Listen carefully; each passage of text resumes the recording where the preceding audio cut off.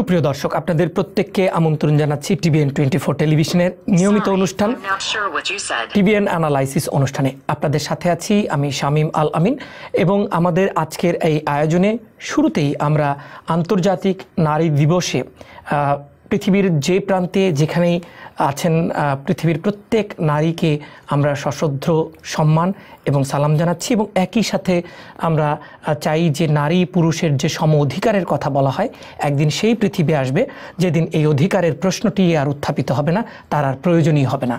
আমরা আমাদের সাথে আজকে যে দুজন অতিথি রয়েছেন, আপনাদের সাথে পরিচয় করিয়ে দিই।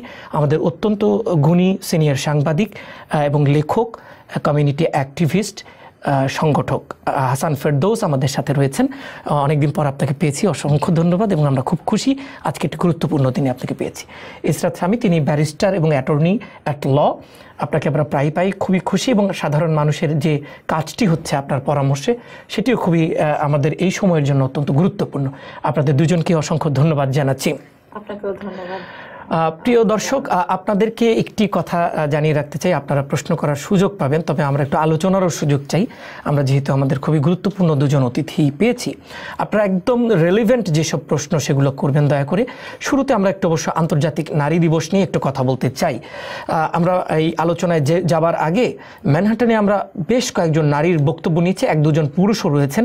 তারা কি ভাবছে? বিশেষ করে অভিবাসন ইমিগ্রেন্ট যে ইস্যু এগুলোও কিন্তু তারা বলেছেন যদিও নারী দিবস কিন্তু আমরা দেখেছি প্রেসিডেন্ট ট্রাম্পের নেয়া নানা আহ, নীতির তারা আহ, আলোচনা সমালোচনা করছেন চলুন একটু বক্তব্যটি শুনে একটু আলোচনায় অংশগ্রহণ করব Reproductive rights are incredibly important. The healthcare bill that the GOP just released is just the biggest scam on the history of the planet. Paul Ryan should be ashamed about what he's doing to poor people, poor women, for reproductive rights. The whole GOP establishment should be ashamed of themselves. Personally, it's for wage inequality, the wage gap for me. But there are so many reasons to unite so many diverse women that we're here to show our solidarity for everyone's personal issues. for women and for minorities and for people who are more vulnerable and less accounted for historically, free speech is critical to their well being. I'm here to support women. I'm here to support their cause. And I am here primarily because I have a family, and without women, we wouldn't be anywhere. So today is International Women's Day, so I had to come out here on this beautiful day in New York to support women. And, uh, you know, I think we're really in jeopardy right now. Women's rights are really under attack, and so we're here to support each other and fight back. Women need to be respected. Abortions need to be valued. Women needs to have those rights and they're trying people are trying to take them away. Our government is trying to take them away. Standing with solidarity, standing with women who helped raise me, women who make this world run. I am here like they are to stand up for women, to stand up for equal pay, to stand up for equal access to health care, to not have men govern and regulate our bodies, and to stand up for all the women who don't have a voice. Women Solidarity. International Day. I'm in solidarity with the sisters from all over the world. Global. This is a global thing. Leaving no one behind for the 2030 agenda. Yes. A lot of love, no violence, peace, respect. Uh, being a woman myself, I'm very compassionate about women's rights. It's still, I find it very ridiculous that in 2017 we still have to fight for this stuff like equal pay. And We're here trying to lend our voice to something bigger than us. আমরা ম্যানহাটনের একটি সমাবেশ হয়েছে, প্রতিবাদ সমাবেশই রূপ নিয়েছে সেটি। আমরা আসলে অনেক নারীর বক্তব্য শুনেছি, এক দুজন পুরুষও ছিল। অনুষ্ঠানটা আমরা শুরু করতে চাই হাসান ফেরদোসকে দিয়ে। নারীদের যে অধিকারের প্রশ্ন এবং অধিকারের বিষয়ে, আমরা দেখছি যে নারী পুরুষ সবাই কিন্তু সোচ্চার হচ্ছে। আপনার কাছে এজন্য আমি আজকে শুরুতে যেতে চাই, কি বলবেন আপনি? নারীদের ব্যাপারে দুটো ব্যাপার আছে। দুটো দুটো বৈশিষ্ট্য আছে। তাদের অসাম্যের। এক হচ্ছে আইনগত সমস্যা আর দুই হচ্ছে দৃষ্টিভঙ্গির সমস্যা লিগাল অ্যান্ড অ্যাটিচিউডাল দুটো সমস্যা। আমি বাংলাদেশের কথা বলি। আমি কথা বলি বাংলাদেশের কথা বলি। এই সম্প্রতি কী হচ্ছে বাংলাদেশে? বাংলাদেশে আমরা জানি টেক্সট বই রিভাইজ করা হয়েছে। একদল মৌলবাদীর নির্দেশে টেক্সট বই রিভাইজ করা হয়েছে। কী রিভাইজটা কেন করা হয়েছে? এক জায়গায় একটি মেয়েকে দেখানো হচ্ছে, সে এক্সারসাইজ করছে। রাখা যাবে না। কেন রাখা যাবে না? ঝুঁকি দেখিয়েছে। হেফাজতে ইসলাম বলে সংগঠনের একটা নিউ ইয়র্ক টাইমসের রিভিউ ইন্টারভিউ দিয়েছে যে ছেলে মেয়ে সব কাজ এক করতে পারে না। যেমন একটা ছেলে গাছে চড়তে পারে, একটা মেয়েকে গাছে চড়তে পারে, ফলে এক্সারসাইজ করা চলবে না। সর্বশেষ ঘটনা ঘটেছে কি? বাংলাদেশে মেয়েদের বিয়ের বয়স কমিয়ে আনা হচ্ছে। ছিল আঠেরো বছর, নতুন যে আইন হয়েছে সে সেই আইনে এটা ফ্লেক্সিবল রাখা হয়েছে। স্থানীয় আদালতের নির্দেশে এই বয়সটা কমানো যেতে পারে। যুক্তি হচ্ছে যে অনেক ক্ষেত্রে দেখা গেছে যে মেয়েরা ধর্ষণের শিকার হচ্ছে। এই সমস্ত মেয়েরা সমাজের আউটকাস্ট হয়ে পড়ে। তাদের জন্যে এই ব্যবস্থা রাখা হলো। তার মানে কি দাঁড়াল? যে যে ধর্ষক তার হাতে এই মেয়েকে ধরে বেঁধে বিয়ে দেওয়া হবে। কীরকম ভয়ঙ্কর চিন্তা। কি অমানবিক কথা। যুগ দেখাচ্ছে যে এটা মানবিক। কারণ মেয়েটি তো সমাজের অচ্ছুত হয়ে পড়ছে। তাদের তাকে সেবা করছি আমরা। অথচ এটা একটা এটা একটা আইনের ব্যাপার। একটা একটা বেআইনি কাজ হয়েছে একটি একটি অন্যায় হয়েছে একটি ক্রাইম হয়েছে। সেখানে আমরা কি করছি? ক্রাইম ঢাকা দেওয়ার জন্য মেয়েটিকে বিয়ে দিয়ে দিচ্ছি আমরা। তাহলে তো এরকমভাবে উৎসাহিত হয়ে সবাই এই কাজই করবে। এ- এবং যুক্ত এখন হচ্ছে কি এই হেফাজত হেফাজত ইসলামের এক নেতা টাইমস কি বলেছে যে বিশ্বের অনেক দেশে ইসলামিক দেশে সৌদি আরবে ইরাকে ইরানে আট দশ নয় বছরের মেয়েদেরও বিয়ের ব্যবস্থা আছে। এবং মেয়েদের বিয়ের বয়স নির্দিষ্ট করে দেওয়া হবে এই নিয়ম মানতে আমরা রাজি না। তাহলে মূল ব্যাপারটা কি? দৃষ্টিভঙ্গিগত। আমরা এখনও মেয়েদেরকে সমান ভাবতে রাজি নই, প্রস্তুত নই আমরা।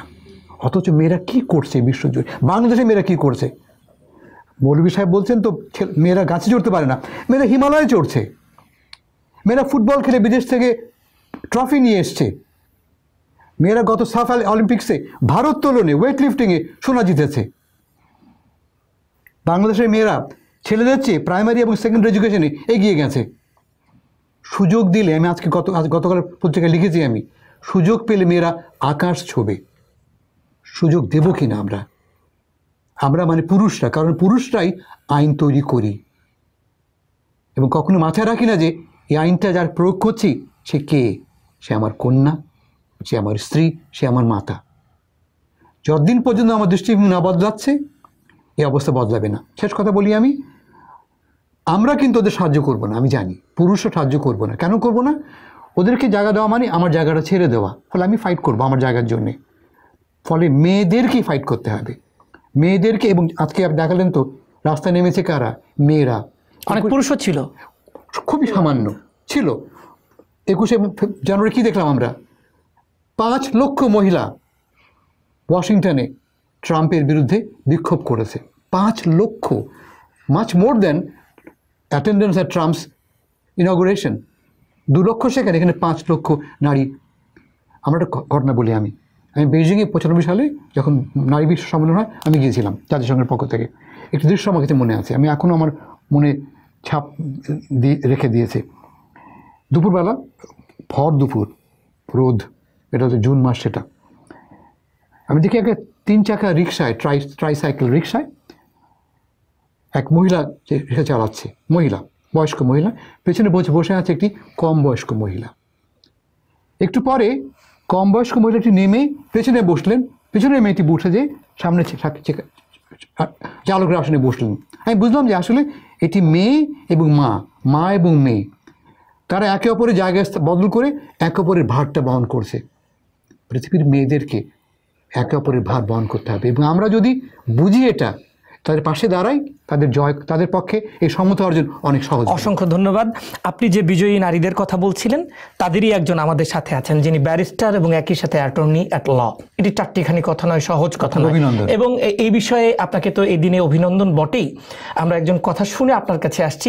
অনেকেই এগিয়ে গেছেন আলাদা করবার সুযোগ নাই এবং বিশেষভাবে তাকানোর সুযোগ নাই। এখানে সম অধিকার সমানভাবে এগিয়ে যাওয়ার কথা বলতে হবে। আপনি কি বলবেন?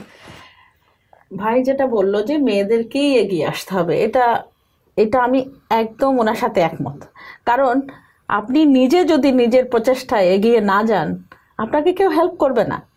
আপনি, আমি আমার উদাহরণটা দিয়ে বলি যে আমি চিটংয়ের প্রথম মহিলা ব্যারিস্টার এবং প্রথম মহিলা অ্যাটর্নি চিটংয়ের, আমার আমার, আমি চিটংয়ের মেয়ে। এবং আমি আমি যখন ডিসাইড করলাম যে আমি বাইরে পড়াশোনা করব তখন আমার যে কি বাধা বিপত্তি ফেস করতে হয়েছে ইম্যাজিনই করতে পারবেন না। মানে না খেয়ে থাকতে হয়েছে কয়েকদিন। কারণ আমি জেদ ধরেছি আমি পড়াশোনা করব। আর এদিক থেকে অবভিয়াসলি আমার নানার বাড়ি থেকে এবং দাদার বাড়ি থেকে সবাই প্রেশার করছে মেয়ে এখন ইন্টারমিডিয়েট পাস করেছে বিয়ে বিয়ের বয়স হয়ে গেছে। আর মেয়ে যদি বাইরে যেতে চায় তার হাজব্যান্ডের সাথে হাত ধরেই তাকে যেতে হবে সে একা যেতে পারবে না। আমার প্রশ্ন ছিল আমার বাবার কাছে যে যদি আমাকে বিয়ে দাও, তাহলে আমি পড়াশোনা করব না। আমি আবার খুব ভালো স্টুডেন্ট ছিলাম আগে থেকে। তো আমার বাবা আর যদি আমাকে পড়াশোনা করতে দাও, তাহলে আমাকে সুযোগ দাও। আর এখানে থাকলে আমি জানি যে চিটংয়ে যদি আমি থাকি, আমার বিয়ে নিঘাত কতদিন আর ঠেকাবো? বলেন। সো এটা আমি তখন ইন্টারমিডিয়েট পাশ করে তখনকার কথা গ্র্যাজুয়েশনের কথা বলতেছি।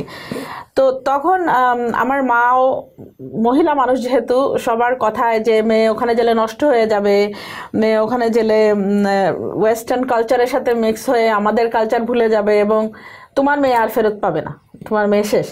তো এই ধরনের কথা মা যেহেতু আমার মা বেশি বাইরে যেতেন না ঘরোয়া মহিলা ছিলেন। সো অনেক যুদ্ধ করে মানে প্রায় এক বছর আমার বাবা আমি আমার মানে সবার সাথে যুদ্ধ করেছি। আমার বাবা আমার সাথে ছিলেন। যেটা আপনি একটু আগে বলছেন যে আমাদের পুরুষদেরও একটু এগিয়ে যেতে হবে সাহায্য করতে হবে। তো ওই সময় যদি আমার বাবা আমার সাথে না দিতেন তাহলে আমার আজকে এই জায়গায় এসে আহ, ইয়ে ছিল না। আমার বাবা ভাইরা কি প্রবলেম পড়েছিল? না।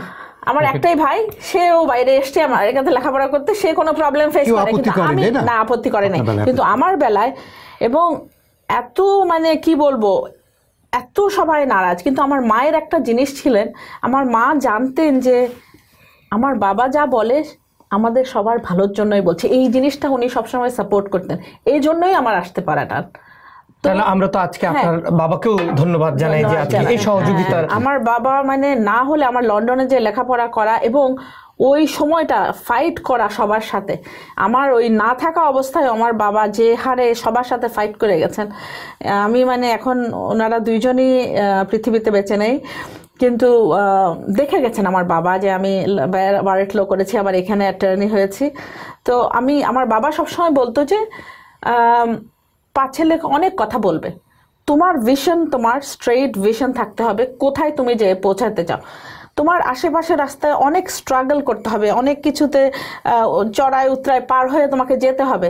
তুমি যদি হোঁচট খেয়ে পড়ে যাও সেখান থেকে যদি না উঠতে পারো তাহলে তোমার এটা গন্তব্যে তুমি যেতে পারবে না। সো তুমি ইগনোর করো কে কি বলছে। এবং আপনারা ইভেন কি আমি লন্ডনে যখন পড়াশোনা করেছি, আমার গ্র্যাজুয়েশন কমপ্লিট হয়েছে, বার করার আগে, তখনও আমার একটা চাপ আসলো যে না, তুমি এখনই দেশে আসো আমাদের সাথে দেখা করে যাও। তো আমি আমার বাবাকে জিজ্ঞেস করলাম, বাবা, আমাকে তুমি একমাত্র মানুষ যে আমাকে বলতে পারবে যে আসলে ব্যাপারটা কি? আমি কি দেশে আসব বেড়াইতে না অন্য কোনো কারণ? আমার বাবা বলে যে, তুমি অনেক স্মার্ট তুমি বুঝে নাও কি করবে। আমি বলছি, আপনি বলেন আমি কি করব। আমার বাবা বলে যে, যেই গন্তব্যে তুমি যেতে চাচ্ছ, সেখানে তুমি পৌঁছেছো কিনা? তুমি সেটা ডিসাইড করো। তুমি যদি সেখানে পৌঁছে থাকো then you decide what you going to do উনি ওই মানে ওনাদের কথাটা কিছু বলল না আমাকে বাট আমাকে ডাইরেকশন দিয়ে দিল যে you finish your study and then come অসংখ্য ধন্যবাদ আপনার আজকের এই যে এই দিনে এরকম বাবাই চাই, এরকমই এরকম দরকার এরকম হ্যাঁ। বন্ধু বাবা বড় ভাই ছোট ভাই সহকর্মী এরকমই চাই সকলে। অসংখ্য ধন্যবাদ। আমরা এবার একটু আমাদের আমাদের যে অভিবাসন থেকে শুরু করে অন্যান্য যে আলোচনাগুলো সেগুলোও কিন্তু এই সমাবেশে উঠে এসেছে। আমি দেখেছি নারীরা বলছেন যে যারা শরণার্থী তাদেরকে ভয় ভীতিহীনভাবে তাদেরকে ঢুকতে দিতে হবে এরকম দাবি জানিয়েছেন। অভিবাসী নারীদের প্রতি তারা সম্মান এবং শ্রদ্ধা জানিয়েছেন। যেসব মায়েরা ডিপোর্টেড হয়ে যাচ্ছে তাদের কথা কিন্তু তারা বলেছেন। দর্শক আপনারা স্ক্রিনে দেখানো নাম্বারে এখন আমরা যে নম্বরটি আছে six four six three zero seven nine eight two eight এই নম্বরে আপনারা এখন প্রশ্ন করতে পারবেন। আমরা প্রশ্নগুলো আপনাদের নেওয়ার চেষ্টা করব এবং আমরা এখন সেই আলোচনায় যাচ্ছি। অভিবাসন নিয়ে একটু কথা বলতে চাই হাসান ফেরদোস। যদিও আমার মনে হয় একজন দর্শক আমাদের আছে আপনি শুরু করুন আমরা নিয়ে আমরা আসব। প্রশ্নটি নিয়ে। যে অভিবাসন নিয়ে যে পরিবর্তনটি এনে আরেকটি নির্বাহী আদেশ জারি করা হলো কি পার্থক্য দেখছেন আপনি? এ- এ- এই আদেশটা অভিবাসন নিয়ে আদেশ নয়। দুঃখিত আপনি অভিবাসন সংক্রান্ত কিন্তু এটি আসলে আসলে সাত ছয়টি মুসলমান দেশের। ওই অভিবাসনের আগে একটা নীতিমালা হ্যাঁ, নীতিমালা। গেছে গাইডলাইন গেছে গেছে, সিকিউরিটি থেকে। সেটা ভিন্ন জিনিস। সেটি একটু এবং এটি হচ্ছে এক ধরনের নিষেধাজ্ঞা যেটি নির্বাহী সম্পৃক্ত যোগাযোগ যোগাযোগ আছে। নতুন যে আদেশটা গেছে রিভাইজ যেটা আদেশ. আমি যেটা দ্বিতীয় পার্ট বলেছি তাতে দুটো জিনিস হয়েছে। এক হচ্ছে যে সাতটা দেশের জায়গায় ছটা দেশে এসছে। ছটা দেশ। ইরাককে বাদ দেওয়া হয়েছে। কেন বাদ দেওয়ার কোনো ব্যাখ্যা নেই? আমরা জানি ইরাকের প্রাইম মিনিস্টার নিজে ফোন করেছেন লবি করেছেন এবং লবিং করার ফলে ইরাককে বাদ দেওয়া হয়েছে। কোনো যুক্তি নেই কিন্তু। আগের যে কারণ ছিল সে কারণের কোনো ব্যাখ্যা নেই। না একটা জিনিস ওনারা বলেছেন যে ইরাকিরা গভর্নমেন্টের তরফ থেকে সেটা আগেও ছিল। সেটা আগেও ছিল এখনও আছে। হ্যাঁ, হ্যাঁ। ফলে এটা এটা নতুন কিছু না বাট এটাই তারা বলতেছেন আর কি। আমি বলার চেষ্টা করছি যে এটা এই এই যুক্তি আগেও ছিল সেই যুক্তিটা অস্বীকার করেছিলেন। হ্যাঁ। এখন তারা মেনে নিলেন মূলত লবিং এর কারণে এটা এক নম্বর। দু নম্বর হচ্ছে যে আহ, ছটি দেশ বললাম আমরা ছটি মুসলমান প্রধান মুসলিম প্রধান ছটি দেশ কেমন?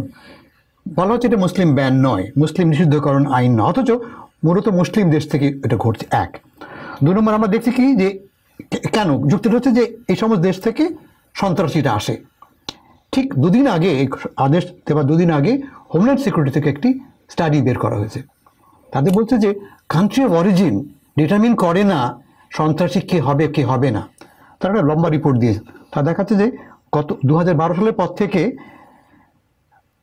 অষ্টআশি জন এইটি এইট বিদেশিরা যারা এসছে অষ্টআশি জন সন্ত্রাসীর সঙ্গে কোনো না কোনো যুক্ত। কিন্তু কেউই মার্কিন মাটিতে একটি মানুষও খুন করেনি। অর্থাৎ অভিবাসীদের হাতে উদ্বাস্তুদের হাতে এবং অভিবাসীদের হাতে কোনো মার্কিন নাগরিক নিহত হয়নি। তারা আরও বলছে যে ছটি দেশ নয় প্রায় আঠাশটি দেশের মানুষ এর সঙ্গে জড়িত। বাংলাদেশের নাম এখানে সেখানে এসছে। সেখানে উল্লেখ করেছে। এক নম্বরে কে আছে? পাকিস্তান। দু নম্বর ইরাক তিন নম্বরে বাংলাদেশ। তারা রিপোর্ট দেখিয়েছে। ফলে ব্যাপারটা খুব যৌক্তিক নয়। মানে মানে এই তিনটি দেশের নাম বললেন কি অর্থে বললেন? যারা সন্ত্রাসের সঙ্গে যুক্ত যুক্ত। যুক্ত। এমন দেশের মধ্যে বাংলাদেশের নামটা উল্লেখিত হয়েছে। যে কারণে আমাদের একটু ভাবতে হবে। ট্রাম্প অলরেডি নির্দেশ দিয়েছে হোমল্যান্ড সিকিউরিটিকে তোমরা স্টাডি করে দেখো এই লিস্টে বাড়াতে হবে কিনা এক্সপ্যান্ড করতে হবে কিনা।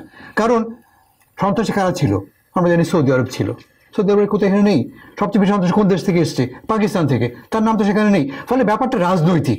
আমরা একটু আসব। আমাদের দুটি প্রশ্ন আছে। আমরা একটু নিয়ে নিই দুজন দর্শক। আমরা নিব দুজন দর্শক আছেন। আহ, পরপর আমরা একটু নিয়ে নিতে চাই। সুপ্রিয় দর্শক আপনার নাম এবং পরিচয় দিয়ে প্রশ্নটি করুন। আমার জাফর আহমদ চৌধুরী। আমি থেকে আপনি আপনার নাম এবং পরিচয়টি দিয়ে প্রশ্নটি করুন। জি আমার নাম জাফর আহমদ চৌধুরী। আমি থেকে বলছি আমি প্রশ্নটি শুনতে পাচ্ছি না কিন্তু আমরা। এখানে কিন্তু শব্দ হচ্ছে না। হ্যালো হ্যালো হ্যালো আমার নাম জাফর আহমদ চৌধুরী আমি কুইন্স থেকে বলছি। আমার প্রশ্ন হচ্ছে জি জি শুনছি আপনি বলুন। জাফর আহমদ চৌধুরী কুইন্স থেকে বলছি। আমি প্রথম ব্যারিস্টার রিসার্চ স্বামীকে আমি অভিনন্দন জানাচ্ছি ওনার জীবনের গল্প শুনে। এবং আমার প্রথম প্রশ্ন হচ্ছে আজকে যে মোশনটা হচ্ছে হাওয়াইতে ওটার কোন পয়েন্টের ভিত্তি করে এই ওনারা কাজটা করতে চাচ্ছে? এই মুসলিম ব্যান্ডটা কোন পয়েন্টে নিয়ে ওরা আগাবে? এটা একটু পরবর্তী কনসিকুয়েন্স কি হতে পারে? এবারে ব্যারিস্টার কাছে আমার একটা আপনাকে। ধন্যবাদ অসংখ্য ধন্যবাদ। আরেকটা আরেকটা প্রশ্ন আছে আরেকটা প্রশ্ন দ্রুত করুন। আরেকটা প্রশ্ন হচ্ছে কালকে শুনলাম ওই অ্যাটর্নি সাহেব বলছেন যে একজন লোক এক স্টেট থেকে ওই স্টেটে যদি চাকরি করতে যায় বা কোথাও বসবাস করতে যায়। তাকে নাকি একটা ইমিগ্রেশন ইলেভেন এইট ফর্ম পূরণ করতে হয়। ওইটা কি এক- আমি মনে করুন একটা স্টেটে গেলাম ছ মাসের জন্য। আমি ইউএস সিটিজেন বা গ্রিন কার্ড হোল্ডার আমাকে কি একে কাজ করতে হবে? ধন্যবাদ। একটু যদি বলেন। সিটিজেন ইউজ সিটিজেন অথবা গ্রিন কার্ড হোল্ডার যদি হয়। No green card holder citizen না। উনি বলেছেন যারা এখানে হয়তো আমি আসলে শুনিনি ওনার কথা বাট যদি যারা সাইলাম অথবা অন্য কোনো ইমিগ্রেশন প্রসেসের মধ্যে আছে probably undocumented. Probably undocumented or in the process undocumented অনেকে যদি কোনো প্রসেসে না থাকে তারা কোথায় আছে কেউ জানে না। সো আপনি এই ফর্মটা দিয়ে তাদেরকে জানাতে চান না যে আপনি এখানে আছেন। বুঝছেন না এটা যারা প্রসেসে আছে তাদের কথাই উনি হয়তো বলেছেন। আমি আসলে ছিলাম না। তো আর যেটি বললেন যে এই যে আসলে এটি তারা মুসলিম ব্যান বলছেন না এটি ছয়টি মুসলিম প্রধান দেশের উপরে শুনেন আহ, আমরা দেখেছি উনি যদিও এখন এটা চেঞ্জ করছে বিগিনিং অফ দ্য ওনার ক্যাম্পেইনে ওটা উনি মুসলিম ব্যান নিয়েই শুরু করেছিলেন। এখন যদিও উনি এখন প্রেসিডেন্ট হয়ে গেছেন, এখন ওই কথাটা বললে আনকনস্টিটিউশনাল কারণ আমাদের এখানে কনস্টিটিউশন সেটা ওনাকে অ্যালাউ করে না সেই জন্য উনি হয়তো এই ওয়ার্ডিংটা চেঞ্জ করে অন্যভাবে করছে। যে বাট এই ছয়টা দেশকে আসলে ব্যান করা হয়েছে, এগুলো densely Muslim populated country so Muslim ban নাম চেঞ্জ করলেও এটা আসলে মুসলিম ব্যান। আচ্ছা তো আমি আপনার কাছে জানতে চাই উনি যেটি জানতে চাইছেন যে এটির ভবিষ্যৎ কি হবে কারণ একটি মামলা হাওয়াইয়ের ইয়ারা করছেন। আরও আরও অনেক অনেক স্টেট থেকে করা হবে বলে ভাবা হচ্ছে। আমি এক্স্যাক্টলি জানি না যে হাওয়ের বেসিক গ্রাউন্ডটা কি। গতবার যে গ্রাউন্ড দুটো গ্রাউন্ড ছিল। এক শুধুমাত্র মুসলমানদেরকে ধর্মীয় কারণে যদি ডিসক্রিমিনেট করা হয় তা অশাসনতান্ত্রিক আনকনস্টিটিউশনাল মার্কিন শাসনতন্ত্র অনুসারে কোনো বিশেষ ধর্মকে চিহ্নিত করে ডিসক্রিমিনেট করা যাবে না। That was the primary argument এটা একটা আছে আমরা একটু ছোট করে শুনে নিতে আর দ্বিতীয় আর্গুমেন্ট ছিল যে ট্রাম্পের পক্ষে উকিল কাউন্সিলর দাবি করেছিলেন যে নিরাপত্তা প্রশ্নে প্রেসিডেন্টের নির্বাহী আদেশ প্রশ্নবিদ্ধ করা যাবে না। তার সম্পূর্ণ অধিকার আছে নিরাপত্তা নিশ্চিত করতে। কিন্তু কোর্ট বলেছে না কোর্ট হচ্ছে তোমার ওভার তোমাকে ওভারসি করবে। এই দুটো কারণে কোর্ট প্রত্যাখ্যান করেছে। আর মোর ইম্পর্টেন্টলি ট্রাম্প বা ট্রাম্পের প্রশাসন প্রমাণ করতে পারেনি যে এই ছয়টি দেশ থেকে মুসলমান আসার কারণে নিরাপত্তা বিঘ্নিত হচ্ছে। তখন সাতটি দেশ ছিল। আমরা যাই দর্শক আপনার কাছে যিনি আমাদের সাথে সংযোগে আছেন নাম পরিচয় দিয়ে প্রশ্নটি করুন। হ্যালো। জি শুনছি আমরা। জি ওয়ালাইকুম সালাম। আমি একটু আপনার সাথে কথা বলতে চাচ্ছিলাম। জি জি বলুন। আচ্ছা আমি কুয়েত থেকে মনি করছি তো আমার একটা প্রশ্ন হলো দুই হাজার তেরো অ্যাসালাম ফাইল এবং ফেডারেল কোর্ট থেকে ওইটা ক্লোজ করে দেয় এবং তারা আমাকে পিডি পিডি পিডি কি কোনো স্ট্যাটাস আমরা আমরা আপনাকে পরিষ্কার শুনতে পাচ্ছি না আমরা একেবারেই পরিষ্কার শুনতে পাচ্ছি না। আমি আহ, বুঝতে পেরেছি ওনার প্রশ্নটা। আর আপনি টেলিভিশনের ভলিউম যেই করবেন টেলিভিশনের ভলিউম কমিয়ে প্রশ্নটি করবেন এবং টে- টেলিফোনের যেটা একদম মুখের কাছে এনে। আহ, আমরা শুনে- যে আপু আপনি যে প্রশ্ন উনার মনে হয় উনি টু থাউজেন্ড থার্টিনে অ্যাসাইলাম প্রসিডিংয়ে ছিলেন এবং উনি পিডি নিয়েছেন প্রসিকিউটোরিয়াল ডিসক্রেশন নিয়েছেন। উনি ম- মনে হয় জানতে চাচ্ছেন যে এটা কি কোনো স্ট্যাটাস কিনা। অবশ্যই এটা ওনার স্ট্যাটাস উনি আনডকুমেন্টেড না। ওনাকে একসময় আহ, হয়তো রিমুভাল প্রসিডিংয়ে দেওয়া হয়েছিল এবং সেই রিমুভাল প্রসিডিংয়ে আয়দার জাজের অর্ডার দিয়ে পিডি দেওয়া হয়েছে অথবা গভর্নমেন্ট ট্রায়াল অ্যাটর্নি এবং ওনার নিজের অ্যাটর্নি দুজন মিলে এটা ডিসাইড করেছে। এগুলো বিভিন্ন কারণ দিয়ে ডিসাইড করে যে পিডি প্রসিকিউটোরিয়াল ডিসক্রেশন এটা টেম্পোরারিলি আপনার কেসটা বন্ধ করে দেয়। মানে রিমুভাল প্রসিডিংটা আপনার বন্ধ হয়ে যাবে। আপনি ওয়ার্ক পারমিট পাবেন এবং আপনি যদি অ্যাডভান্স পেরোলে বিভিন্ন দেশে যেতে পারবেন এক্সেপ্ট যে কান্ট্রির এগেনস্টে আপনি অ্যাসাইলাম সিক করেছিলেন। সো এইটা হচ্ছে যে ওনার আনসার আমরা তাহলে আরেকজন দর্শককে একটু নিয়ে নিই। দর্শক কে আছেন আমাদের সাথে সংযোগ নেই। তা আমরা এবার একটু আপনার কাছে আবার যাই যেটি আপনি বলছিলেন যে এই যে এটি অভিবাসন সংক্রান্ত আরও বেশ কিছু নীতিমালা এক্সট্রিম ভেটিং এগুলোর কথা বলা হচ্ছে। তো এইটি মানে নিশ্চয়ই নিরাপত্তা নিশ্চিত করা জরুরি। এই বিষয়গুলো তারপরেও তো অভিবাসীদের এ, যেভাবে এফেক্ট করছে সার্বিকভাবে। যে যে নীতিমালাটা হোমল্যান্ড সিকিউরিটি ইস্যু করেছে তার লক্ষ্য হচ্ছে মূলত যারা আইন ভঙ্গ করেছে আচ্ছা। তাদেরকে অগ্রাধিকারের ভিত্তিতে চিহ্নিত করা ও বহিষ্কার করা। বুঝ- গেছে তো? যারা আইন ভঙ্গ করেছে এবং আইন ভঙ্গটা খুব ব্রড একটা ক্যাটাগরি এমনকি ট্রাফিক ভায়োলেশনের জন্যও তোমাকে ধরতে পারে। মূলত যে কটা কেস পেয়েছি আমরা এই পর্যন্ত অর্থাৎ অনেকগুলি হচ্ছে গিয়ে সোশ্যাল সিকিউরিটি অন্যায়ভাবে ব্যবহার করবার জন্য, মিথ্যা ব্যবহার করবার জন্য। যে মহিলাটাকে টেক্সাস থেকে বের করো, যাকে নিয়ে বড় ঘটনা ঘটছে, তার ছেলে মেয়ে এখানে আছে, এখানকার আমেরিকান সিটিজেন এখানে সে বিশ বছর আছে, বিশ বছর পরে তাকে বের করে দেওয়া হচ্ছে। সে তার নিজের দেশকেও চেনে না ভাষা ভালো বলতে পারে না, তাকে বের করে দেওয়া হচ্ছে। তার অপরাধটা কি? সে অনেক বছর আগে, প্রায় বারো বছর আগে, একটা অন্য, অন্যের সোশ্যাল সিকিউরিটি নাম্বার নিয়েছিল সে পুরো চাকরি পাওয়ার জন্য, কাজ পাওয়ার জন্য। এটি তার অপরাধ। সে অপরাধ স্বীকার করেছে পুলিশের কাছে গেছে এবং প্রতি ছ মাস অন্তর অন্তর পুলিশের কাছে যায় এবং হাজিরা দেয় আমি আছি ভাই কোনো ভুল করছি না। তাকে ধরে বের করে দেওয়া হয়েছে। ফলে এই ধরনের ভায়োলেশন যাদের হয়েছে তাদেরকে বের করে দেওয়া হচ্ছে। ফলে এটা একটা ব্যাপার। আর দু নম্বর মূল লক্ষ্য হচ্ছে এটা একটা পলিটিক্যাল গেম একটা। ট্রাম্পের লক্ষ্য ট্রাম্প বলেছেন তিনি তিন মিলিয়ন তিরিশ লক্ষ অবৈধ বা আনডকুমেন্টেড অভিবাসীকে বহিষ্কার করবে। যারা মূলত কোনো না কোনোভাবে ক্রিমিনাল অ্যাক্টিভিটির সঙ্গে যুক্ত। এরা কারা কেউ জানে না। এদের কোনো চিহ্নিত এরা কেউ চিহ্নিত নয়। কোথায় আছে কে জানে? এবং বড় বড় শহর যেমন লস অ্যাঞ্জেলেস যেমন নিউ ইয়র্ক এগুলো স্যাংচুরি সিটি বলি আমরা। এবং এখানকার মেয়ররা বলেছেন আমরা তোমাদেরকে হেল্প করব না এদেরকে বাছাই করবার জন্য এদেরকে ধরিয়ে দেবার জন্য। নিউ ইয়র্ক শহরে যেমন আইডি করেছে নিউ ইয়র্ক সিটি মেয়র সাহেব এবং অন্য শহরে হয়েছে।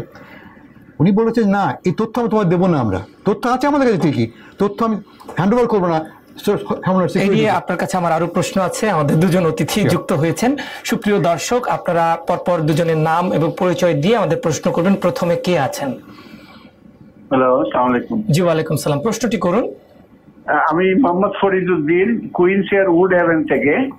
আমার প্রশ্ন আমি আমার একটি ছেলে ও মেরিড দুই হাজার চোদ্দ সালের সেপ্টেম্বরে আমি ওর জন্য অ্যাপ্লাই করেছি। ওর বাচ্চা বিবি বাচ্চা সহ ওর কতদিন লাগতে পারে? আপনি প্রশ্ন করতে পারেন। আপনি কি ইউএস সিটিজেন ভাই? জি আমি ইউএস সিটিজেন ওকে আপনি কখন? দুই হাজার কততে পনেরোতে অ্যাপ্লাই করেছেন? দুই হাজার চোদ্দোর সেপ্টেম্বর। চোদ্দ সেপ্টেম্বর।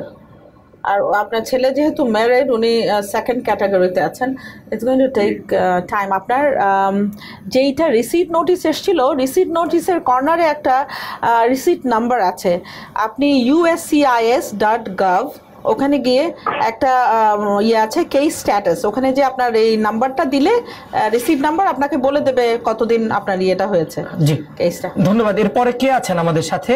নাম পরিচয় দিন প্রশ্নটি করুন। হ্যালো জি আমরা শুনছি। হ্যালো আসসালামু। আলাইকুম ওয়ালাইকুম আসসালাম। আমি ব্রুকলিন থেকে বলছি? জি। আমার একটা প্রশ্ন হলো যে আমার মায়ের গ্রিন কার্ডের নামটা এদেশে তো লাস্ট নেম প্রথম দিতে হয়। কিন্তু এটা ফার্স্ট নেম প্রথম দিয়ে দিছে তো আমি আইডি করতে গেলে বলল এটা আপনার চেঞ্জ করতে হবে। তো আমি এটা চেঞ্জ করতে হলে কীভাবে করতে হবে? কোথায় যেতে হবে? ধন্যবাদ আপনাকে। আমাকে একটু কাইন্ডলি যদি জানান। আপনাকে একটা চিঠির মাধ্যমে আপনি ওনাদেরকে জানান ইউএসসিআইএস কে যেখান থেকে আপনি গ্রিন কার্ডটা রিসিভ করেছেন ওনাদেরকে জানান। আহ, হয়তো ওনারা করে দিতে পারেন। আরেকটা জিনিস হচ্ছে যে ওনারা এখন ফিস ছাড়া কিছুই বোঝেন না সো আপনাকে হয়তো আবার ফিস দিয়ে এটা কারেকশনের জন্য অ্যাপ্লাই করতে হবে। এরপরে কে আছেন আমাদের সাথে? হ্যালো জি আলাইকুম।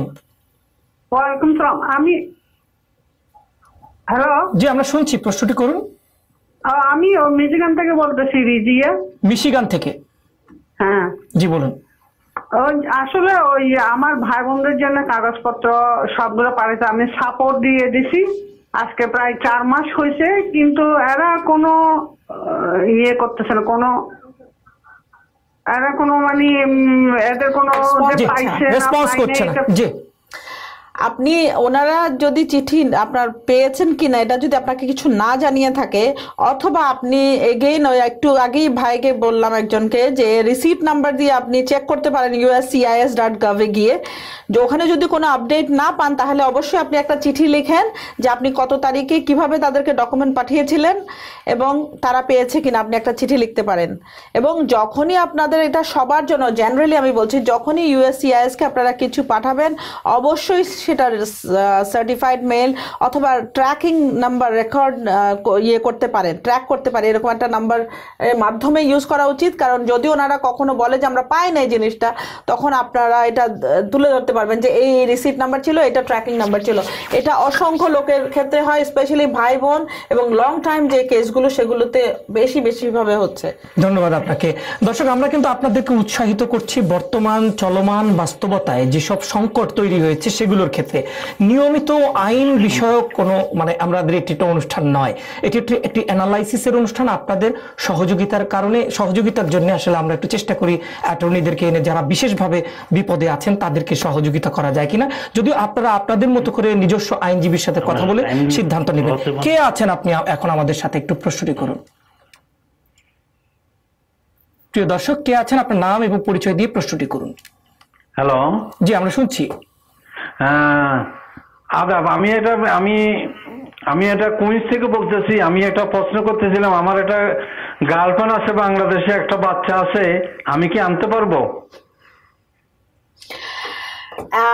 গার্লফ্রেন্ডদের আনার আসলে এখনও কোনো এখানে নিয়ম নীতি নাই কিন্তু আপনি ফিয়ন্সে ভিসায় যদি আনতে চান আনতে পারেন। আপনার বাচ্চাকে আপনি আনতে পারেন। বাচ্চার জন্য আপনি যে কোনো সময় অ্যাপ্লাই করতে পারেন। না, ওই তো আমার তো মনে করেন এখানে ওয়াইফ আছে ভাই সবকিছু আছে। এখন আমারও একটা গার্লফ্রেন্ডের একটা বাচ্চা আছে, কিন্তু আমাকে আনতে হবে। বাচ্চাটা আমারই। আপনার বাচ্চা হলে আপনি অ্যাপ্লাই করুন। আপনার বাচ্চাকে তারা আসতে দিবে। কিন্তু গার্লফ্রেন্ডের আসলে কোনো ইয়ে নাই এখানে।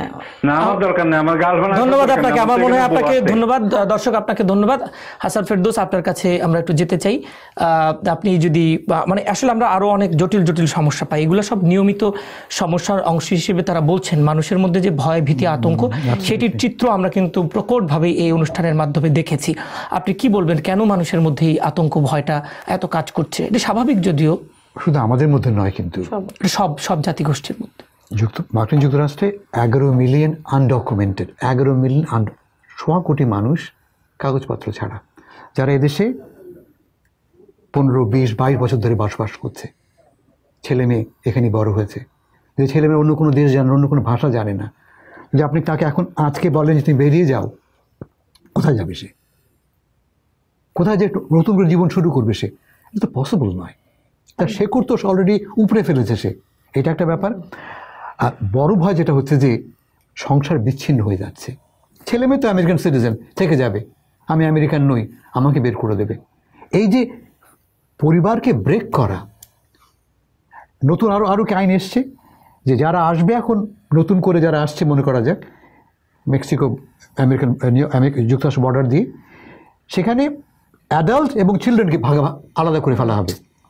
অ্যাডাল্টদেরকে একভাবে গ্রেফতার করা হবে আর ছেলে মেয়েদেরকে আলা- আলা- অন্যভাবে কাউকে ঢুকে দেওয়া হবে না কিন্তু ভাবা- ভাগাভাগি করে ফেলা হবে। ভাবতে পারেন কতটা ক্রুয়েল কতটা কতটা নিষ্ঠুর। হ্যাঁ বলুন।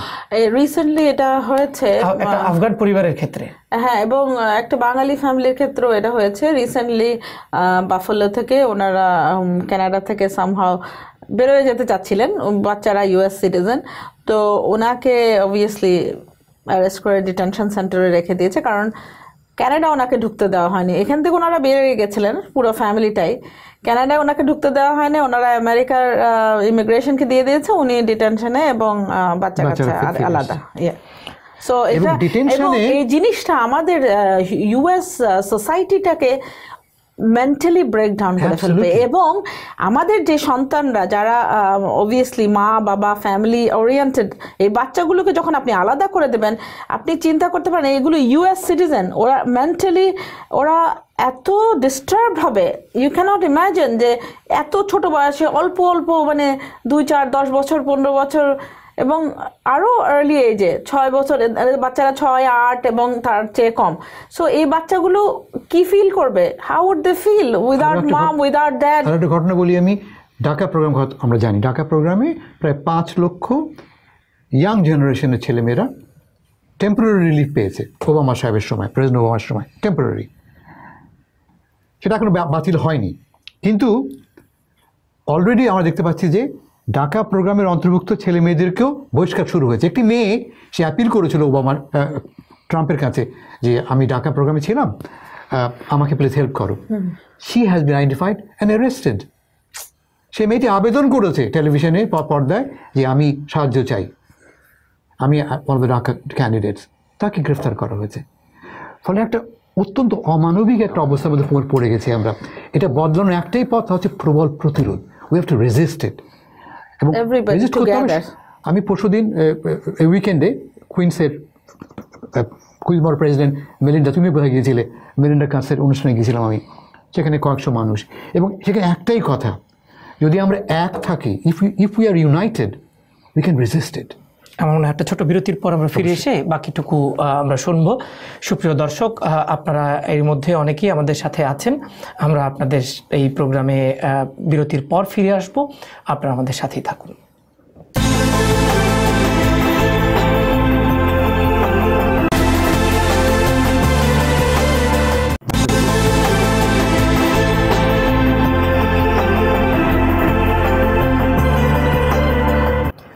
সুপ্রিয় দর্শক আমরা টিভিএন টোয়েন্টি ফোর টেলিভিশনের আমাদের আজকের যে আয়োজন টিভিএন স্পেশাল অনুষ্ঠান এবং সেই অনুষ্ঠানে আমরা আপনাদেরকে আমন্ত্রণ জানাচ্ছি। আরও একবার আমরা এ পর্যায়ে একটু ওবামা কেয়ারের বদলে যে নতুন স্বাস্থ্যনীতির কথা বলা হচ্ছে সেই স্বাস্থ্যনীতির বিষয়ে আমরা একটি প্রতিবেদন আমাদের হাতে আছে। এটি দেখে আমরা এই বিষয়ে একটু আলোচনা করতে চাই। The way to make health insurance available to everyone is to lower the cost of health insurance, and that is what we are going to do. সবার জন্য স্বাস্থ্যসেবা নিশ্চিত করার অঙ্গীকার নিয়ে ঘোষণা করা হয়েছে নতুন স্বাস্থ্যনীতি। তবে এই স্লোগান কতটা কার্যকর করতে পারবে ট্রাম্প প্রশাসন সেটি নিয়ে সন্দেহ রয়ে গেছে। এমনকি ট্রাম্পের হেলথ সেক্রেটারি টম প্রাইসও জোর গলায় সবার জন্য স্বাস্থ্য বিমার নিশ্চয়তা দিতে পারছেন না।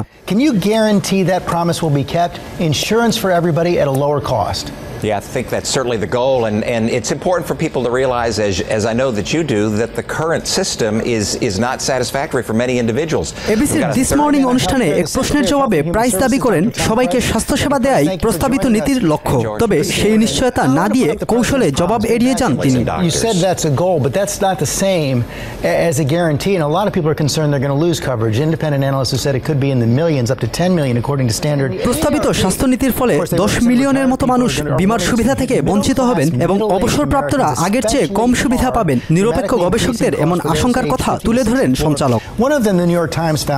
Martha Brawley. Uh, New York টাইমসের এক প্রতিবেদনে বলা হয়েছে অনেক গ্রাহকের ক্ষেত্রে আগের চেয়ে বিমার পরিমাণ পাঁচ হাজার ডলার পর্যন্ত কমে যাওয়ার আশঙ্কা আছে। এ বিষয়ে সরাসরি উত্তর না দিয়ে প্রাইস জানান নতুন নীতির অধীনে বিমাগ্রহীতা তার পছন্দ মতো ডাক্তারের পরামর্শ নেওয়ার সুযোগ পাবেন। এই স্বাধীনতা আগের স্বাস্থ্যনীতিতে ছিল না বলে উল্লেখ করেন Price. Able to select the physician and the, and the, the treatment that you desire for yourself, not that the government dictates to you. নতুন Remember that the স্বাস্থ্যনীতিতে আগের তুলনায় খরচ কমবে বলে দাবি করেন health secretary Tom Price health তবে সিএনএন এর সাথে অপর এক সাক্ষাৎকারে ইউটার কংগ্রেসম্যান ও রিপাবলিকান নেতা জেসন চেইফেটস খরচের বিষয়টি নিয়ে মন্তব্য করে বিতর্কের জন্ম দিয়েছেন দেশের স্বল্প আয়ের মানুষদের নতুন আইফোন না কিনে স্বাস্থ্য বিমার জন্য একটু বেশি খরচ করার পরামর্শ দেন তিনি And you know what? Americans have choices, and they've got to make a choice. And so maybe rather than getting that new iPhone that they just love and they want to go spend hundreds of dollars on that, maybe they should invest it in their own health care. They've got to make those decisions themselves. Obama care বাতিল করলেও ওই স্বাস্থ্যনীতির সবচেয়ে জনপ্রিয় দুটি ধারা ঠিকই রাখা হয়েছে প্রস্তাবিত স্বাস্থ্যনীতিতে জটিল রোগে আক্রান্তদের জন্য বীমা এবং বাবা মার বীমার অধীনে ২৬ বছরের কম বয়সী সন্তানদের রাখতে পারার ধারা দুটি আগের মতোই থাকছে families and at the federal government. We have to be able to drive those costs. Galib Ashraf TVN twenty four news desk access. We do think that with more choice, Ferdous আপনার কাছে শুনতে চাই। আচ্ছা। সবচেয়ে বড় সমস্যা হচ্ছে যে এই নতুন আইনের ফলে প্রায় বিশ মিলিয়ন লোক দুই কোটি মানুষ বিমা হারাবে। আমরা যদিও দশ মিলিয়ন বলছি মিলিয়ন আরও বেশি সেই সংখ্যা মিলিয়ন লোক বিমা হারাবে। দুটো আইনের তফাতটা কোথায়? দুটো আইনের ভিত্তি হচ্ছে ওবামা কেয়ারের এবং এই ট্রাম্প কেয়ারের দুটোর ভিত্তি হচ্ছে যে রিফান্ডেবল ট্যাক্স ক্রেডিট তুমি খরচ এনাফ তুমি করতে পারো না, তোমাকে সরকার রিফান্ডেবল ট্যাক্স তুমি যে আমরা যেমন ট্যাক্স রিফান্ড পাই, সেভাবে হেলথ ইন্স্যুরেন্সের জন্য আমরা রিফান্ডেবল ট্যাক্স ক্রেডিট পাবো আমরা। কিন্তু ওবামা কেয়ারের সময় ট্যাক্স রিফান্ডেবল রিফান্ডটা পাওয়া যেত, তুমি কোন এলাকায় বাস করো এবং তোমার আয় কত, এই দুই শর্তের উপরে। এখন যে নতুন আইন হয়েছে, সেখানে ফ্ল্যাট একটা রেট বসানো হচ্ছে, এটা এক নম্বর। আর দু নম্বর, আমার কাছে হাতে ইনফ্যাক্ট আমার হাতে এই মুহূর্তে আছে কাইজার ফ্যামিলি ফাউন্ডেশন একটা অ্যানালিসিস এই ড্রাফটটা পাওয়া গেছে তারা বলছে যে এই নতুন আইনে সবচেয়ে ক্ষতিগ্রস্ত হবে কারা? যারা বুড়ো যারা গরিব এবং যারা শহরে বাস করে। যাদের সবচেয়ে বেশি প্রয়োজন হেলথ কেয়ার তারাই সবচেয়ে বেশি ক্ষতিগ্রস্ত হবে। সবচেয়ে লাভ হবে কারা? যারা ইয়াং যারা বেশি আয় করে এবং যারা সমৃদ্ধ এলা- এলাকায় বাস করে। যাদের যাদের কিনা হেলথ কেয়ারের প্রয়োজন নাই তারা এর চেয়ে বেশি লাভবান হবে। যেমন ধরা যাক হেলথ ইন্স্যুরেন্স কোম্পানির সিইওদেরকে যারা পাঁচশো পাঁচ লক্ষ ডলার পর্যন্ত আয় করে, তাদের স্পেশাল রিবেট দেওয়ার ব্যবস্থা করা হচ্ছে সেখানে। ফলে এই আইনটা মানে প্রথমত আমি গত পনেরো দিনে দেখেছি আমরা যে আমেরিকার বিভিন্ন শহরে টাউন হল মিটিংয়ে সাধারণ মানুষ প্রতিবাদ করছে। একজন ক্যান্সার পেশেন্ট বলছে যে, আমি এই আইনের ফলে বেঁচে গেছি, এখন কি হবে?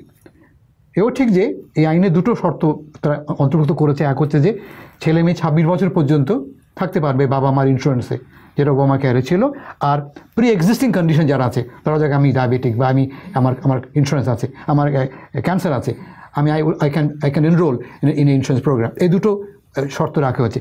এবং এই দুটো শর্ত রাখার কারণে কনজারভেটিভ রিপাবলিকানরা বলছে, এটা হচ্ছে ওবামা লাইট মৃদু ওবামা এটা, মৃদু ওবামা ক্যারেট এর এক নম্বর। আর দু নম্বর, যে রিফান্ডেবল ট্যাক্স চালু করতে যাচ্ছে প্রস্তাব করেছে রিপাবলিকানরা এই এই এই প্রস্তাবে সেটাকে বলা হচ্ছে নতুন এন্টাইটেলমেন্ট প্রোগ্রাম যেমন সোশ্যাল সিকিউরিটি প্রোগ্রাম একটা, যেমন মেডিকেয়ার একটা প্রোগ্রাম এন্টাইটেল প্রোগ্রাম আর একটা এন্টাইটেলমেন্ট প্রোগ্রাম দেওয়া হচ্ছে। ফলে কনজারভেটিভরা যারা যেমন ধরা যাক টি পার্টি ককাসে যারা মেম্বার তার সরাসরি এটা প্রত্যাখ্যান করেছে এবং আজকে আজকে বিকালে তার নতুন প্রস্তাব পাল্টা প্রস্তাব পার্লামেন্টে রেখেছে কংগ্রেসে রেখেছে। যে প্রস্তাবটা দু বছর আগে পার্লামেন্টে পাশ হয়েছিল রিপাবলিকান নিয়ন্ত্রিত কংগ্রেসে পাশ হয়েছিল, কিন্তু ওবামা সেটা স্বাক্ষর করেনি। যেটা ক্লিন ওবামা কেয়ারটাকে রিপিল করেছিল, বাতিল করেছিল। সেই একই প্রস্তাব এই ফ্রিডম ককাসের মেম্বাররা আজকে প্রেজেন্ট করেছে। যেটার পক্ষে কিন্তু পল রায়ন সমর্থন করেছিল ম্যাকনেল সমর্থন সবাই সমর্থন করেছে, সব রিপাবলিকানরা একমাত্র কারণে যেটা, যে কারণে এটা রিজনটা হচ্ছে যে ওবামার ভিটো পাওয়ারের জন্যে। তাহলে এখন যখন এটা কেন পাশ হবে না?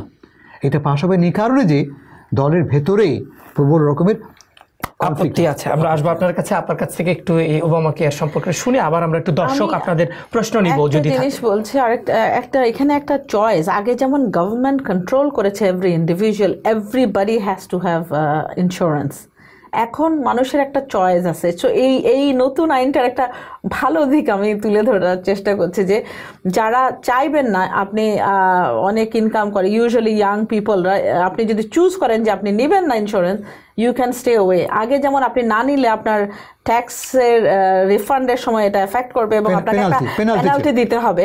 এই জিনিসটা মনে হয় ভালো করছে because it should be your choice আমি আমি মনে করি যে ওয়েদার ইউ ওয়ান্ট টু আপনি ক্যারি করতে চাচ্ছেন কিনা এটা আমি বলছি যাদের পার্সোনাল চয়েস আছে।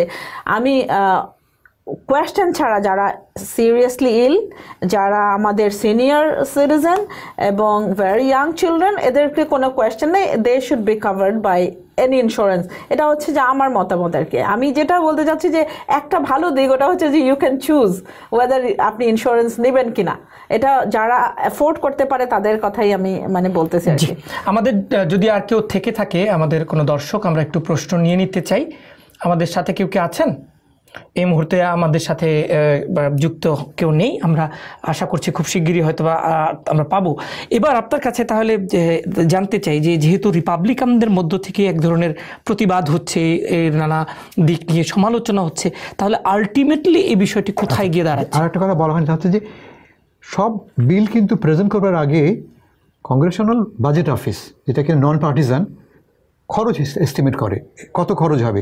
কিন্তু এই বিলটার পেছনে খরচ এখনো- এখনও অ্যানালিসিস করা হয়নি। আমরা এখন জানি না যে কত খরচ পড়বে। এটা দাবি করেছে যে খরচ কমবে। ঠিক উল্টো ঘটতে পারে কিন্তু আমরা জানি না একটা। কি হবে?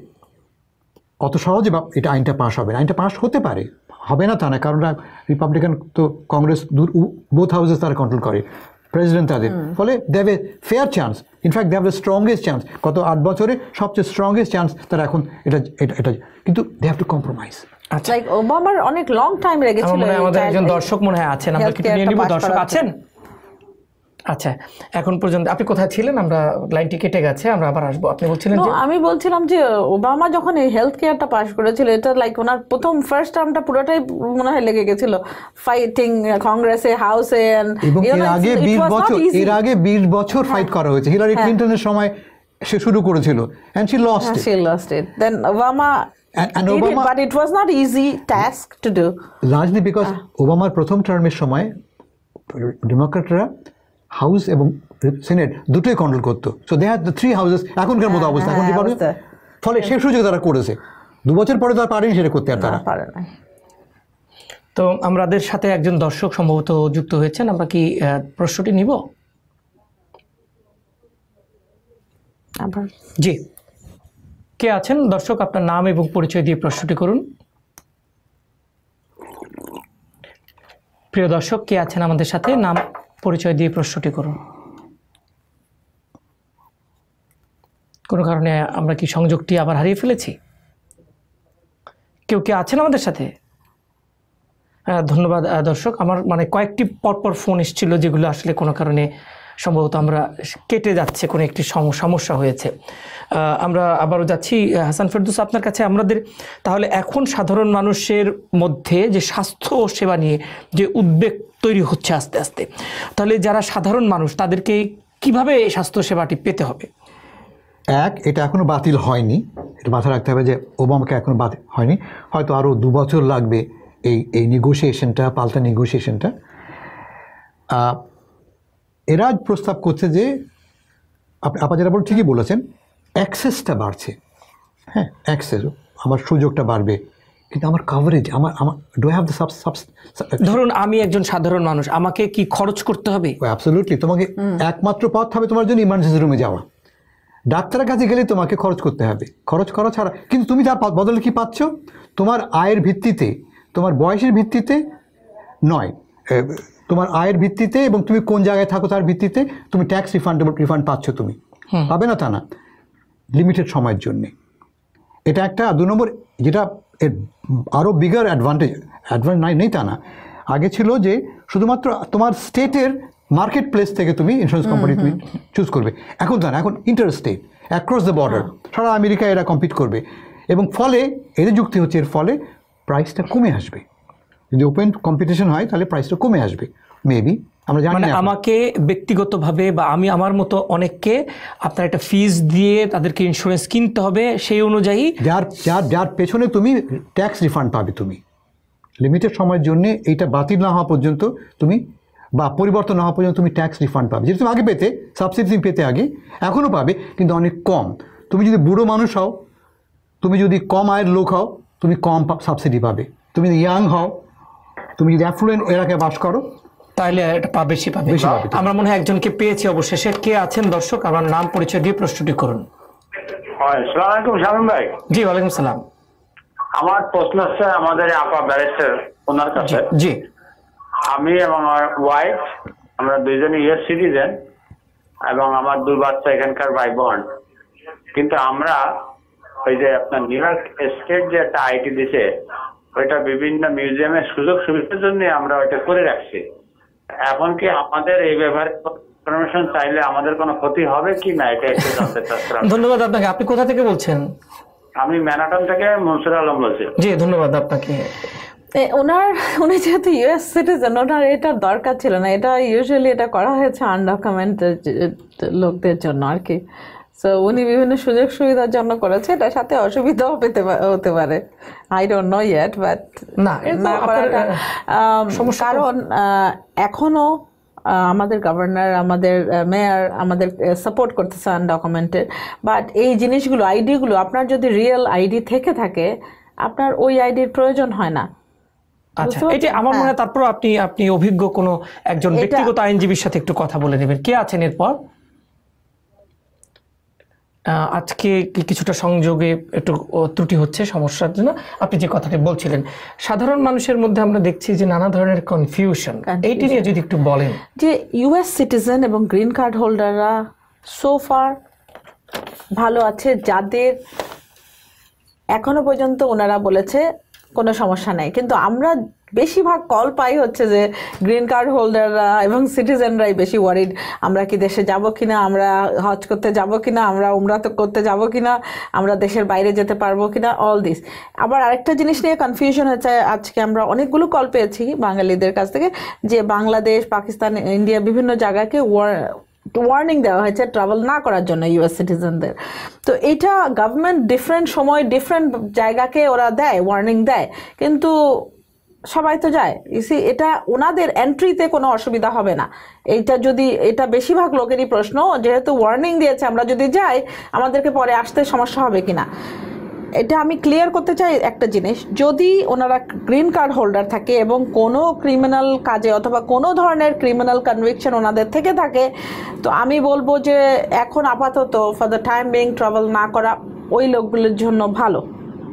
সিটিজেনরা they can go and come back travel warning আমি হ্যাঁ। ক্ল্যারিফাই করে বলি ট্রাভেল ওয়ার্নিং মেইনলি বাংলাদেশে বা পাকিস্তানের অবস্থার কারণে। হ্যাঁ হ্যাঁ হ্যাঁ।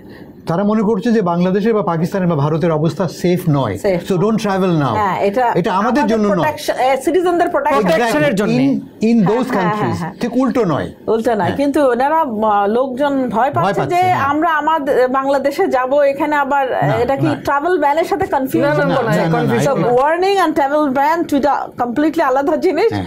এবং এগুলো এগুলো তো প্রায়ই মনে হয় কিছু সাময়িক সময়ের জন্য হয়। আরেকটা জিনিস হচ্ছে যে আপনি রিলিজিয়াস পারপাসে অনেকে আছেন যারা রিলিজিয়াস পারপাসে বিভিন্ন জায়গায় যায়, ইরাকে, ইরানে ডিফারেন্ট জায়গায় যায় সো সেই রিলিজি আপনি যদি ইউএস সিটিজেন হন এবং আপনি যান, আপনাকে এখানে আসতে বাধা দেওয়ার নাই because you are US citizen you hold the US passport যদি আপনাকে কেউ বাধা দেয়, অবশ্যই অবশ্যই একটা অ্যাটর্নির কার্ড সাথে রাখবেন এবং কোনো কথা বলবেন না, আপনার নাম, পরিচয় ছাড়া কোনো কথা বলবেন না, বলবেন যে আই নিড মাই অ্যাটর্নি আপনাদের লিগ্যাল রাইটটা প্রয়োগ করুন। এটা তবে নিঃসন্দেহে যদি আহ, কেউ অপরাধের সাথে যুক্ত হয় তাহলে তাকে তো চ্যালেঞ্জ করতেই পারে নাকি? হ্যাঁ যদি কোনো ক্রিমিনাল অ্যাক্টিভিটির সাথে জড়িত থাকে অবশ্যই এটা এখন কোয়েশ্চেন করবে। জি আমাদের আহ, পরপর দুজন আছেন আমরা একটু কথা বলে আজকের মতো শেষ করব। আহ, কে আছেন আমাদের সাথে শুরুতে? প্রিয় দর্শক আপনার নাম পরিচয় দিয়ে প্রশ্নটি করুন। আসসালামু আলাইকুম আমি রিয়াদ বলতেছি। ওয়ালাইকুম আসসালাম। বলুন ওয়ালাইকুম সালাম যে আমি ব্রুকলিন থেকে বলতেছি আমার অ্যাসালাম কেস পেনসিলভেনিয়াতে চলতেছে। এখন আমি ওয়ার্ক পারমিট চাইছি সোশ্যাল অলরেডি অ্যাপ্লাই করছি। আমি কি ওয়ার্ক পারমিট সোশ্যাল পাওয়ার পর আমি তো নিউ ইয়র্কে কাজ করতে পারব না? আচ্ছা জি বলুন। আপনার কেসটা আপনি বলেছেন পেনসিলভেনিয়াতে আছে কিন্তু আপনি আহ, এখন ব্রুকলিন থেকে ফোন করেছেন বলছেন। আপনি যদি এখানে কাজ করতে চান, আপনি অবশ্যই এটা আপনার অ্যাসাইলাম যদি আপনার কোর্টে থেকে থাকে, ওনাদের কোর্টকে জানাতে হবে। আর যদি ইয়েতে থাকে ইউএসসিআইএসে থাকে, তারপরেও আপনাকে জানাতে হবে আপনি কোথায় এখন থাকতেছেন। আপনি অ্যাড্রেস চেঞ্জ করার পনেরো দিনের মাথায়, মধ্যেই তাদেরকে জানাইতে হয়। সো আপনি যদি জানিয়ে থাকেন, তাহলে আপনি অবশ্যই নিউ ইয়র্কে কাজ করতে পারবেন এবং New York forum better forum জি, ধন্যবাদ। এরপরে কে আছেন আমাদের সাথে? হ্যালো আমি আছি। জি বলুন। নামটা বললেন আপনার নাম পরিচয় দিয়ে প্রশ্নটি করুন। ধন্যবাদ। আচ্ছা, আমার নাম মাহমুদ। জি। আসসালামু আলাইকুম আমার নাম মাহমুদ আমি নিউ ইয়র্ক থেকে বলছি। জি জি। আমার প্রশ্নটা হলো আমরা যখন বাংলাদেশ থেকে ইমিগ্রান্ট হয়ে হাজব্যান্ড ওয়াইফ এসেছিলাম আমাদের সঙ্গে আমাদের বাচ্চা এসেছিল দুইটা। ওদের জন্ম বাংলাদেশে। আমাদের পাশাপাশি ওরাও এখানে পাসপোর্ট পেয়েছে ইউএস পাসপোর্ট বাট আমরা ইন্টারভিউ দিয়ে সিটিজেনশিপ সার্টিফিকেট নিয়েছি বাট ওদের তো সার্টিফিকেট নাই। সেই ক্ষেত্রে আমি অনেকের কাছে শুনেছি যে ভ্রমণ করলে তাদের আসার সময় বলে যে তুমি কীভাবে সিটিজেন হয়েছো কীভাবে পাসপোর্ট পেলে? বাট তাদের আমার বাচ্চাদের ক্ষেত্রে কোনো সমস্যা হবে কি? আসার সময়। আসার সময় আপনার বাচ্চাদেরকে কোনো সমস্যা করার কথা না কারণ মা বাবা যেহেতু সিটিজেনশিপ পেয়েছে বাচ্চারা সেই সূত্রে সিটিজেনশিপ পেয়েছে বাচ্চাদের সিটিজেনশিপ সার্টিফিকেট আমরা আসলে ট্রাভেল করার সময় যারা সিটিজেন আমরা সার্টিফিকেট নিয়ে যাই না আমাদের সাথে। আমরা পাসপোর্ট নিয়ে ট্রাভেল করি। এবং বাচ্চাদের কাছে সেই জিনিসটা আছে। সো কোনো অফিসার আমার মনে হয় না শখ জ্ঞানে ওদেরকে বাচ্চাদেরকে কোনো ট্রাভেল দেওয়ার কথা because they are United State citizen ধন্যবাদ আপনাকে। আর কেউ যদি না থেকে থাকেন আমরা শেষ করব। হাসান ফেরদৌস আজ একটু ছোট্ট করে যদি শেষ করেন আজকের অনুষ্ঠানটি। না আমরা কিন্তু অনেক বিষয়ে আলোচনা করিনি। এই মুহূর্তে সবচেয়ে বড় সমস্যা সবচেয়ে বড় ইস্যু কিন্তু ওবামা ট্রাম্পের ফোনে আরি পাতা। ফোনে আরি পাতা। হ্যাঁ, হ্যাঁ। সবচেয়ে বড় ঘটনা। এবং ট্রাম্পের রুশ কানেকশনস রাশিয়ান কানেকশনস অন্য কথায়, আমরা দেখতে পাচ্ছি যে মাত্র দু মাস বয়স যে প্রেসিডেন্সি নানা সমস্যায় আটকে পড়েছে, জালে আটকে পড়েছে। এবং এই সমস্ত সমস্যাগুলি তৈরি করছেন কিন্তু প্রেসিডেন্ট ডোনাল্ড ট্রাম্প খুব আনফর্চুনেট ডোনাল্ড ট্রাম্প যেমন পরশুদিন বলেছেন যে তিনি বিশ্বকে রিপ্রেজেন্ট করেন না, আমেরিকাকে রিপ্রেজেন্ট করেন। ভালো, খুব শুন- শুনতে ভালো শোনায়। অথচ একদিন মধ্যে আমরা কী বলতাম? যে আমেরিকা হচ্ছে বিশ্বের মুক্ত সব বিশ্বের নেতা leader of the free world অথচ এই প্রেসিডেন্ট ভলেন্টারিলি সেই নেতৃত্ব থেকে নিজে সরিয়ে নিচ্ছে। খুব আনফর্চুনেট আমেরিকা কোন দেশ? বিশ্বের সবচেয়ে শক্তিশালী দেশ। সবচেয়ে ধনী দেশ। ফাইট করছে কার সাথে সে? পাশের বাড়ির দুর্বল মেক্সিকোর সাথে। মেক্সিকোর ভয় সে হাতি ইঁদুরের সাথে ফাইট করছে। বলে এটা একটা কমপ্লিট আনপ্রেসেন্ট একটা ব্যাপার। খুবই খুবই দুর্ভাগ্যজনক একটা ব্যাপার। আরও যেটা ভয় আমি যেটা ভয় পাই তা হচ্ছে যে ষাট মিলিয়ন লোক দিয়েছে। এরা কারা? শেষ দিকে আছে। অধিকাংশ সাদা মানুষ। এবং কেন ভোট দিয়েছে? একটা বড় কারণ এই আমরা যারা কালো আমরা যারা বাদামি রঙের তাদের দেখে ভয় পাই মূল ব্যাপারটা কি? বর্ণবাদ রেসিজম যে বর্ণবাদ আমেরিকাকে চারশো বছর ধরে বহন করতে হয়েছে আবার তা ফিরে আসছে। সেটা আমরা নিশ্চয়ই এটি আমি আশা করিনি যে আমাদের প্রেসিডেন্ট আব্রাহাম লিঙ্কনের স্বপ্নটা আমার মনে হচ্ছে এখন ইন বিগ রিস্ক এবং এটা হচ্ছে যে আমরা হচ্ছে যে ইমিগ্রেন্টদের দেশ। আমাদের লিডারদের আমরা যেখানে ওয়ার্ল্ডকে লিড করি আমাদের এটা শোভা পায় না। এটা থার্ড ওয়ার্ল্ড কান্ট্রি আমি আন্ডারস্ট্যান্ড করি। হ্যাঁ। আপনাদের দুজনকেই মাত্র এক জেনারেশন আগে জার্মানি থেকে এই- দেশে এসেছেন। মাত্র এক জেনারেশন আগে। আমার মনে হয় আপনাদের দুজনকে অসংখ্য ধন্যবাদ ব্যারিস্টার ইসরাত স্বামী এবং হাসান ফেরদৌস। আর অনেক বিষয় নিয়ে নিশ্চয়ই আলোচনা হতে পারতো। আলোচনা করব আবার আপনাকে পাবো আপনাকে পাবো আশা করছি। ধন্যবাদ আপনাদেরকে। সুপ্রিয় দর্শক আপনারা যারা ফোন করতে পেরেছেন তাদেরকে তো ধন্যবাদ। যারা কোনো কারণে একটু করতে পারেননি ত্রুটির কারণে আপনাদেরকে দুঃখ প্রকাশ করছি। নিশ্চয়ই আবারও কথা হবে। আগামীকাল ঠিক একই সময়ে আপনারা আমাদের টেলিভিশনের সামনে বসবেন। সবাই ভালো থাকুন।